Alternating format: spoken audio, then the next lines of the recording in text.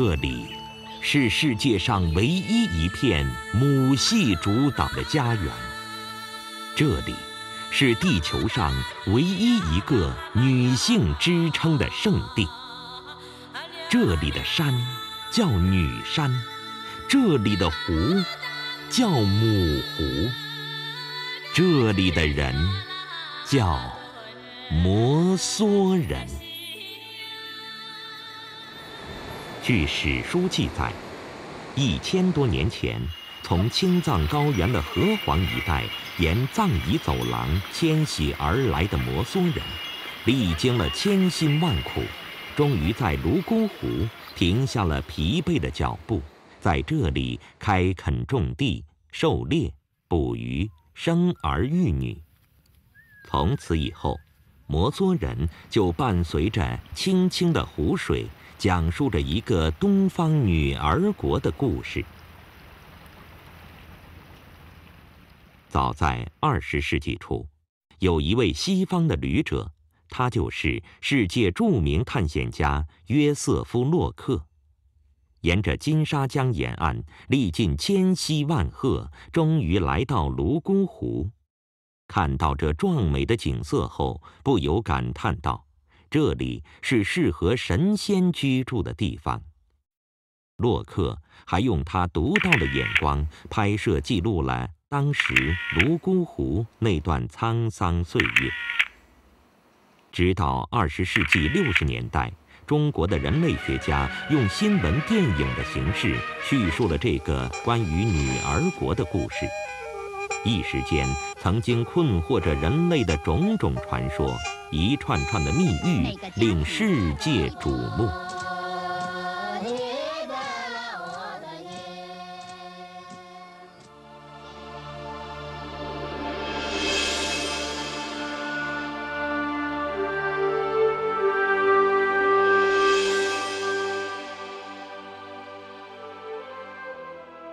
泸沽湖在不同时辰、不同的光照下，产生出不同的影调。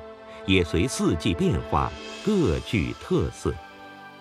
阳春三月，冰消雪融，百花齐放；盛夏时节，湖水碧绿，清风纳凉；深秋时节，岸边一派金黄，水中野鸟成群；寒冬之际，冰雪飞舞，一片圣洁。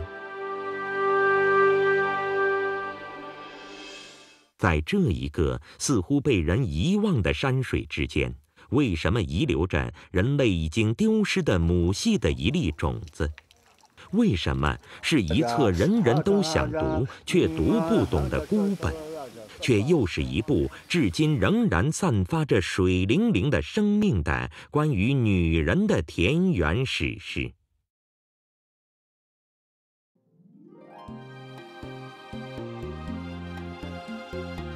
摩梭人普遍实行母系大家庭，在家庭中舅长礼仪，母长财，母为尊，女为贵，但女尊男不卑。母亲或祖母是整个家庭的轴心，家庭成员中只有母亲血缘，如外婆、母亲、姨妈、舅舅等，而没有父系成员。所生的子女皆属女方。血缘、财产均由母系继承，母亲主宰着一切，亲情呵护着整个母系大家庭。人类学家把这里视为地球上最后一个母系王国，社会学者赞誉人类最后一片净土。联合国教科文组织评为全球五十个和谐社区之一。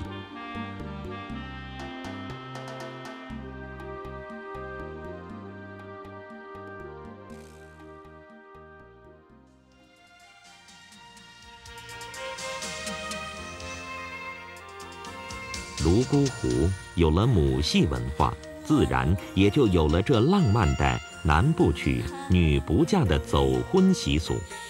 男方阿柱在入夜后潜入女方阿夏的花楼，早晨离去。这种走婚依赖感情，两人走婚生下的子女均由女方抚养。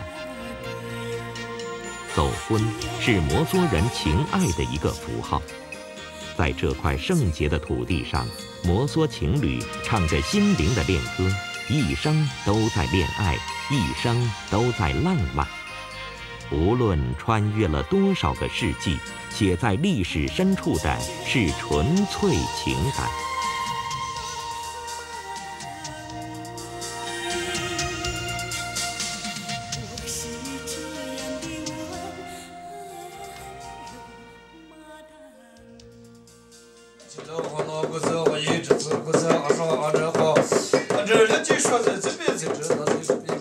泸沽湖不仅以它独特秀美的自然风光和民族风情名扬天下，它的美还在于它浓烈的宗教色彩。达巴教是摩梭人的本土宗教，它诠释着摩梭先民对世间万物生老病死的理解。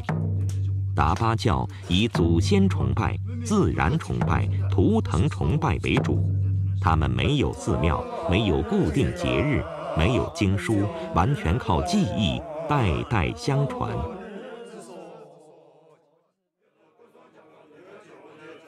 袅袅的青烟弥散着檀香馥郁的气息，永不熄灭的火塘边，阿玛转动的是永远的祝福。当微微清风吹拂着五色的金幡，摩梭人的心底总是那么的平和安详。暮鼓晨钟撞击的声音深远厚重，玛尼堆上的六字真言相克的是永远康安。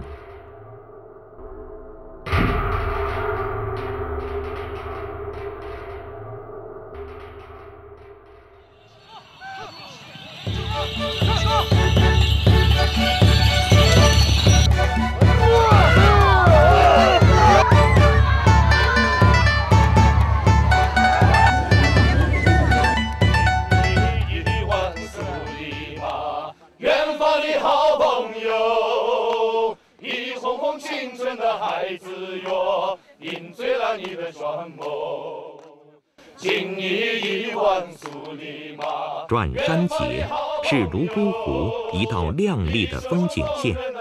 每年农历七月二十五，摩梭人身着节日盛装，从四面八方涌入格姆神山脚下，通过各种祭祀形式和活动，祈求女神保佑庄稼丰收、人民安康、家庭和睦、六畜兴旺。届时。英俊彪悍的小伙子和美丽多情的摩梭姑娘尽情地跳着锅庄，而上了年龄的人们则席地而坐，聊着家常，享受大自然赐予的天伦之乐。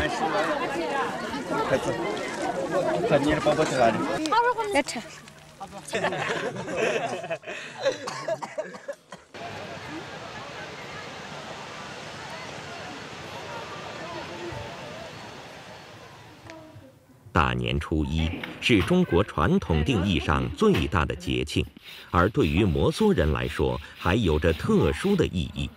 凡是摩梭人年满十三岁时，都要在这一天举行隆重的成人礼仪式。清晨，成人礼在摩梭大家庭的正房里举行。届时，成人礼的孩子站在柱子旁边，脚踏在猪膘肉和粮食袋上。虔诚地脱去童装，换上成人礼装，孩子向祖先祭台，向祖母、母亲、姨妈、舅舅磕头，接受长辈的祝福。喇嘛和达巴为他念祝福经，然后由舅舅带着到每个亲戚家拜年。从此，他已成为家中的成人，不再享受童年的优厚待遇。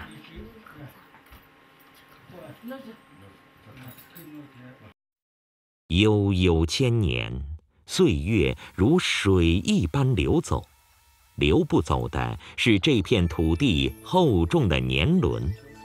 沧桑岁月中的摩梭史，犹如马蹄踏出来的古道，虽然蜿蜒，却抹不掉它的风采。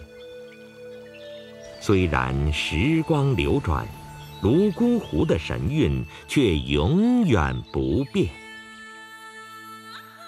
来吧，这里没有合同；来吧，这里没有上司，这里只有爱和让你的灵魂飞翔的自由。